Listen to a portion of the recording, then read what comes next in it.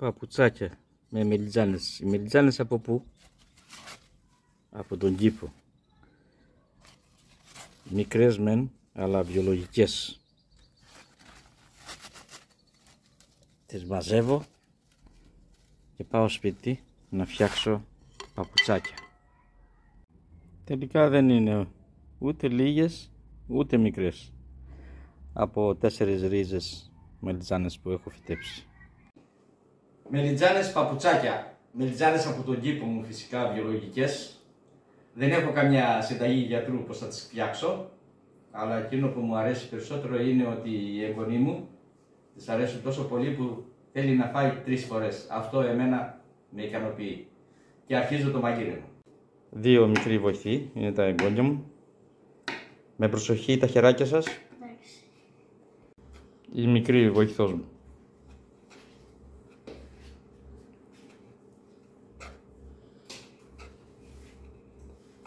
Μπράβο, ωραία. Μικρέ, θέλεις να δοκιμάσεις και εσύ; Ναι. Ωραία. Μπράβο, μικρέ.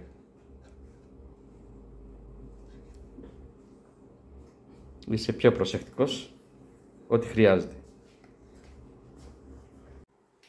Σχεδόν όλα τα υλικά έτοιμα από μένα. Για να μην χάνω χρόνο να σας δείχνω πώς τα κόβω. Εγώ τα κόβω λίγο λεπτά. Και σιγά σιγά θα αρχίσω να ανοίγω και να, βγάλω, να βγάζω μέσα τη σάρκα από τις μαλιζάνες.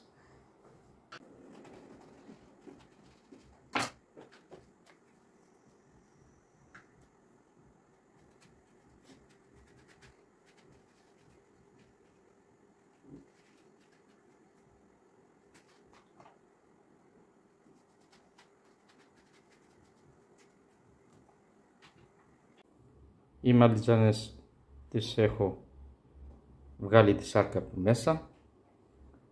Είναι αυτή εδώ, ο κοιμάς είναι έτοιμος, τα κρεμμύδια, το σκόρδο, πιπεριές πράσινες κόκκινες, ντομάτα κομμένη, αλάτι και τώρα πάω να τα σουτάρω στο τηγάνι και στην κουζίνα. Ξέχασα μαϊντανό και σάλτσα καυτερή, την οποία την έχω φτιάξει εγώ. Μπορεί να δείτε κάποιο βίντεο πώς την έχω φτιάξει. Κρεμμύδι.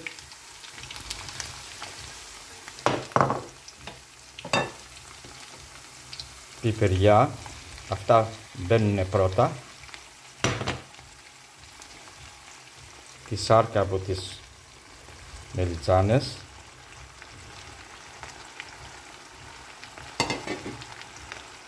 Και σε λίγο θα προσθέσω τον κιμά. Προσθέτω τον κιμά, τον οποίο το κάνω, τον κάνω σε μικρά κομματάκια, γιατί όταν θα τον τσιγαρίσω μπορεί με μεγάλη ευκολία να σβολιάσει, να γίνουν, να γίνουν με, μεγάλα κομμάτια και να μην απλώσει σε όλο το τηγάνι όπως το θέλω.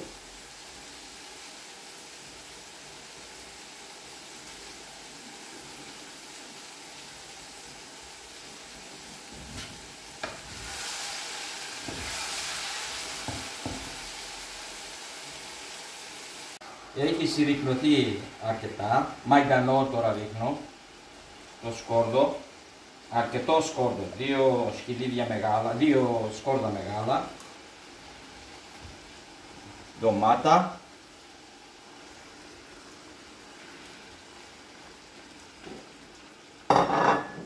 Σάλτσα καυτερή.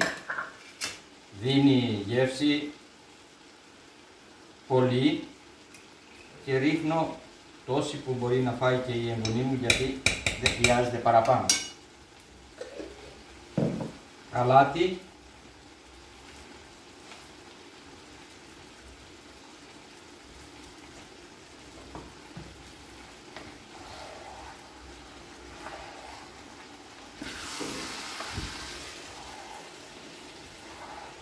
Θέλει και λιγάκι ακόμα.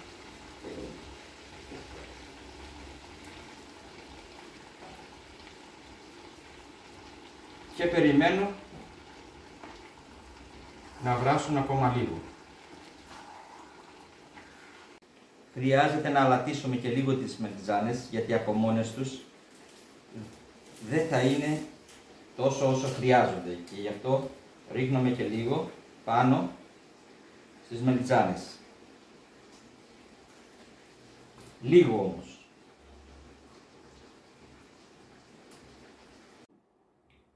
Όλα έτοιμα και αρχίζω τη γέμιση. Και ό,τι περισσέψει θα το βάλω έξω από τη μελιτζάνα. Στα κενά.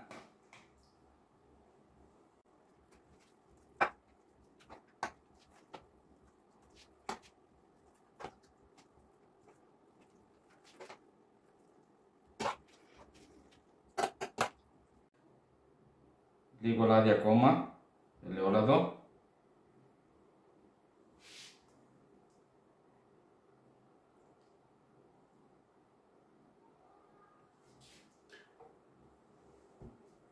Λίγο μαύρο πίπερο.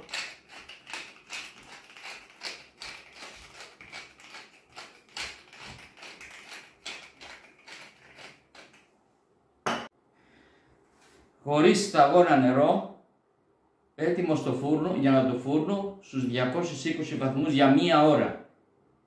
Και μετά θα δούμε το αποτέλεσμα. Στη μέση στο φούρνο και πάνω κάτω η αντίσταση. Και το φαγητό έτοιμο. Δεν έχω ρίξει σταγόνα νερό. Και η ώρα της δοκιμής. Να δοκιμάσω τι έχω φτιάξει με τη βοηθό μου.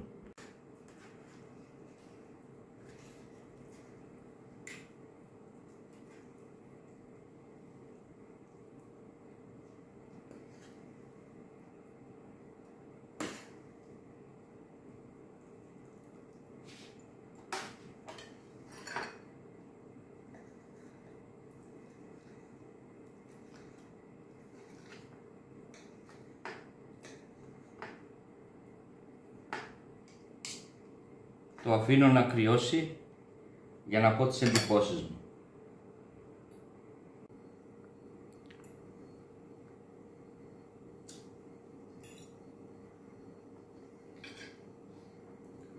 Φυσικά τι θα μπορούσα να πω και αλλήμον άμα δεν ήταν ωραίο το φαγητό, είναι πάρα πολύ ωραίο.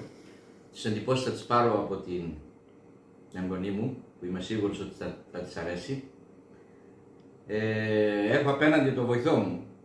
Είναι η γυναίκα μου που με διορθώνει αν κάνω λάθη. Και στο τέλος θα τσακωθούμε ποιος μαγειρεύει καλύτερα. Αλλά δεν πειράζει, έτσι είναι. Ε, σας ευχαριστώ πολύ που παρακολουθήσατε ακόμα ένα βίντεο δικό μου. Μην ξεχάσετε να κάνετε like, εγγραφή και το καμπανάκι. Σας ευχαριστώ.